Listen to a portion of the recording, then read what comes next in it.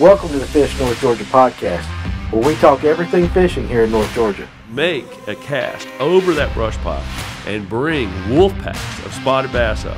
Georgia is blessed with so many of these electric only lakes. No, I didn't say that, Danny. Don't, Okay, don't be so- uh, speculating so now. the- Hey guys, this is Danny with Fish North Georgia and the Fish North Georgia podcast. And today, this is one of our mini casts. We're here with Henry Cowen, and Henry is going to tell us how do we get started fly fishing on Lake Lanier. Okay, so real briefly, here's what you need to know. It's a need to know thing.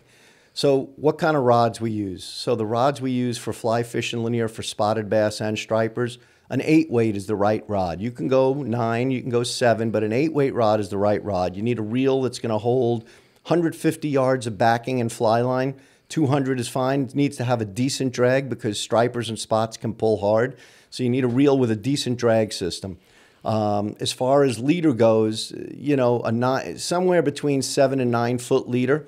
I like to use something between 15 and 20 pound tippet. That's the that's what my fly is being attached to. So that, as you know, there's a lot of wood on Lanier. So you got to have a fly that at least can drag through.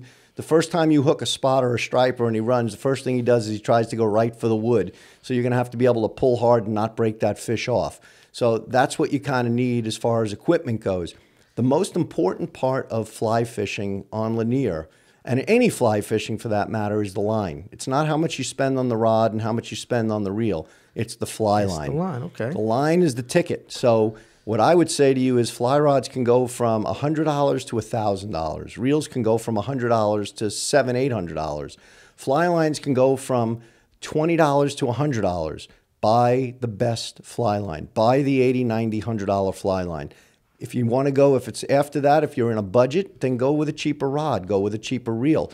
Absolutely spend the money on a fly line. Good advice. If you're fishing on Lanier, you're gonna need two fly lines.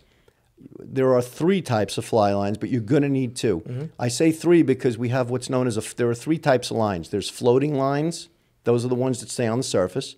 There's what we call intermediate fly lines. Those sink very slowly, one and a half to two inches per second. They sink down. Then we have fast sinking fly lines. Those are the ones we talk that sink six inches per second. I'm on Lanier fishing intermediate, slow sink, and fast sinking lines. I come out with two outfits every time. The only time I bring a floating line is when there's top water season, which is generally in uh, end of April, May, red during the redfin bite, or when they're eating poppers on the points in May, Right. or possibly in September, early October. Otherwise, from the middle of October until the end of April, I'm on fast sinking lines and slow sinking intermediates. That's what you need to have. As far as flies go, you got to match the hatch. It's really simple. Most of the time, the fly guys, the best time for a fly fisherman on Lanier is October to January. Not that March, April, and May isn't good, but October to January is by far the most productive. And they're usually eating young of the year threadfin shad. So you need flies that are two inches long. We designed a fly called a something else. You can get them at all the local fly shops here. Hammond's Fishing Tackle has them. And that's probably our number one go to fly for reservoirs that have small threadfin shad. So that's kind of what you need to know to get started as far as the, the tackle and the equipment for both bass and stripers, both. Okay. Um, there's also a fly out there called a game changer, and it's a fantastic streamer about that long. Um, it, it imitates a bigger threadfin or a small herring, and it's a segmented, for lack of a better term, let's call it a magic swimmer. It's a Sebile magic swimmer for the fly angler. Okay, All right. And they're called game changers. And you can get those. Those are available. You can get them online or you can get them from any of the local fly shops. will have them too. Those are probably my two go to flies. Finally, the last one is what we talked about a Clouser minnow, which is nothing more than a bucktail jig for fly fishermen. That's a really good fly as well. They just don't make them small enough to match the young of the year threadfin when they're one and a half to two inches. They the smallest one they make is about two and a half, three inches long. So the, the something else is better when they're on the the, the the small threads, and the clouser is better when they're on the big threads or the herring, and the game changer is really good when they're on the big threads in the herring. Okay, and once you've made your cast out, what do you do with your, let's say with the intermediate? You've thrown the intermediate, not the fast. sinker. Okay, so I make the cast out and now I let it sink four or five seconds, and then it's all about the retrieve. And the retrieve, uh, as we, you and I discussed earlier, is it's a strip, strip, strip, and a pause. It, you got to have, oops, you got to have that free fall. all right. In order to get a free fall, it's strip, strip, strip, strip, one Mississippi, two Mississippi, three Mississippi, strip, strip, one Mississippi, two Mississippi, three Mississippi, strip, strip, strip, strip, strip, strip, short, quick strips, followed by a three, four Mississippi pause. If I don't get a hit, especially if I'm seeing fish on top, mm-hmm. if I see fish busting up and I'm not getting a hit on three Mississippi, I go to five Mississippi. And then I go on to, I'll be using a fly that sinks even more slowly because those fish are feeding just below the top of the water column, maybe the first, I don't know, two to four feet down under the surface. I need that fly to sink, but I want it to stay in that zone as long, in that strike zone, as long as possible. That's the whole ticket to being successful, keeping that bait in the strike zone the longest. Do you use your sonar, or how do you use your sonar on your boat? That's So a better way to yeah, and you know, here's the thing with sonar.